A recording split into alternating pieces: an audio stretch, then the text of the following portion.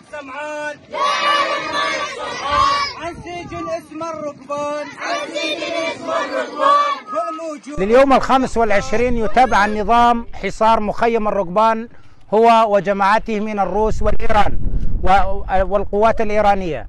نطالب المجتمع الدولي والجهات المسؤولة والأمم المتحدة بإدخال مساعدات لمخيم الركبان ألا وهي بما يقارب ألفي عائلة وهي سبعة آلاف نسمة.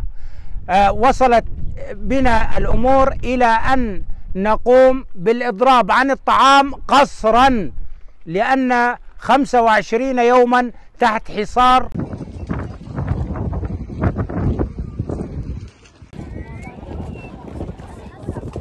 نحن محاصرين في مخيم الركبان انقذونا يا عرب في مخيم الركبان محاصرين. يا أخوان يا مخيم